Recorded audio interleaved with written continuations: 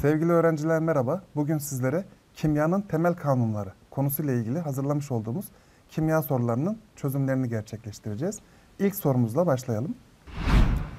Görselde magnezyum telinin yanması görülmektedir. Gerçekleşen reaksiyon şeklinde olduğuna göre 100 gram bileşik oluşturmak için en az gereken magnezyum ve oksijen miktarı aşağıdakilerden hangisidir? Öncelikle tepkimemizi yazalım.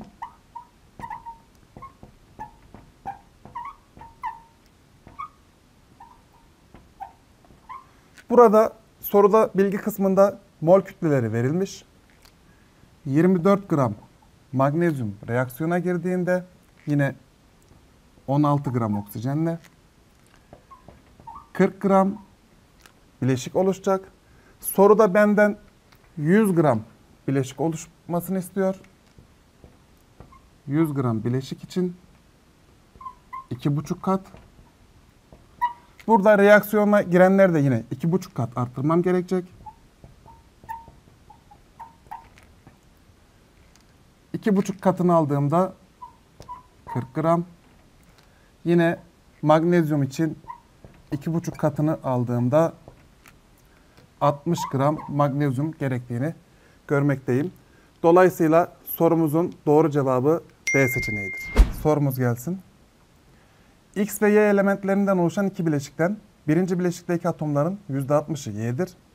Birinci bileşikteki Y elementinin ikinci bileşikteki Y elementine katlı oranı 3 bölü 2'dir. Buna göre ikinci bileşiğin basit formülü aşağıdakilerden hangisidir? Birinci bileşikteki atomların %60'ı Y olduğuna göre biz bu bileşik için, birinci bileşik için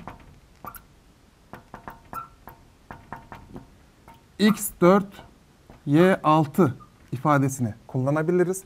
Burada %60'ı Y, %40'ı X olmuş oldu.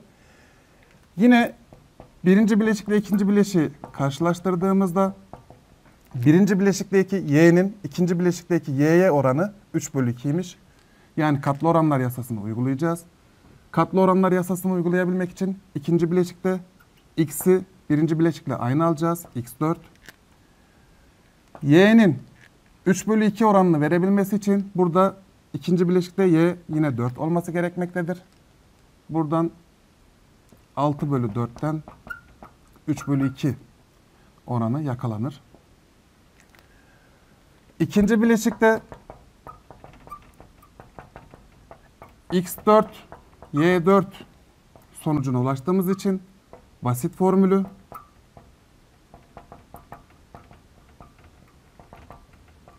X, Y'dir.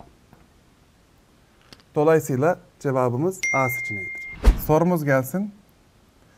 John Dalton iki elementin birden fazla bileşik oluşturabileceğini ve oluşan bu bileşiklerdeki elementlerden birinin miktarı eşitken diğer elementin miktarları arasında tam sayılarla ifade edilen bir oran olduğunu ifade ederek katlı oranlar kanununu bulmuştur. Bir öğrenci laboratuvarda bulunan su, kezzap, zat tuz ruhu, hidrojen peroksit, sirke ruhu, süt kostik ve potas kostik bileşiklerinden hangi ikisini katlı oranlar kanununa uyan örnekler olarak gösterebilir? Seçeneklerde su, potas, kostik çifti verilmiş. Hemen yanına formüllerini yazalım.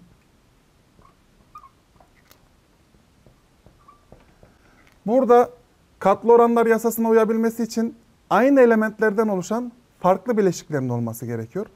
Su, hidrojen ve oksijenden oluşmuşken burada potas kostik, potasyum, oksijen ve hidrojen elementlerini içermekte.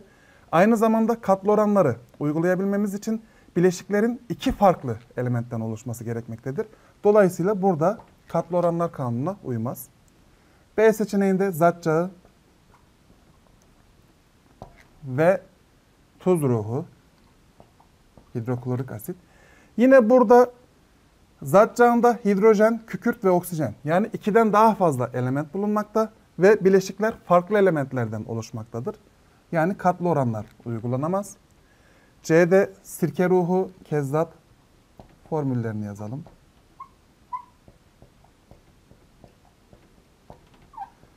Yine burada hem sirke hem de kezzapta ikiden daha fazla element yer almaktadır. Dolayısıyla katlı oran uygulanamaz. D seçeneğinde su ve hidrojen peroksit su ve hidrojen peroksit. Evet burada aynı elementlerden oluşan farklı bileşikleri görmekteyiz ve bunların basit formülleri de birbirinden farklıdır.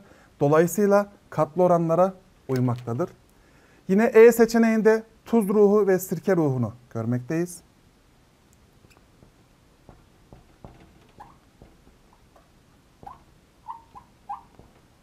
Burada sirkede ikiden daha fazla element yer aldığı için ve bileşikler farklı elementlerden oluştuğu için katlı oranlar uygulanamaz.